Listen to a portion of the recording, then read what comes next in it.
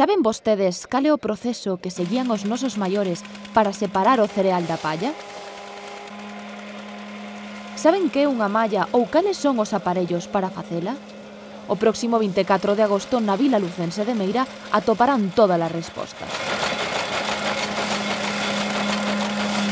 E que a Feira da Malla de Meira, a primeira que xurdiu en Galicia, é unha boa oportunidade para coñecer a historia da obtención deste alimento básico da nosa dieta sabe conxugar perfectamente o pasado e o futuro e o presente en este caso, ¿no? pero bueno, o futuro tamén, é dicir, como a una pois, pues, esa forma de vida, como a una ese valor etnográfico, e como a una pois, pues, esa cultura e tradición tan nosa A festa, que cumpre xa a súa 23ª edición e que conta coa colaboración da Deputación de Lugo, presentouse esta semana no Pazo de San Marcos. Temos demostración de de varios tipos de malla durante todo o día, malla con malles, con distintos tipos de máquinas, desde as primeiras hasta as últimas.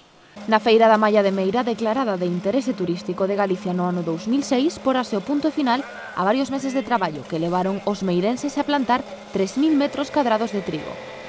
Tras o duro traballo, a xornada completarase con música, exposicións de artesanía e un xantar típico da Malla.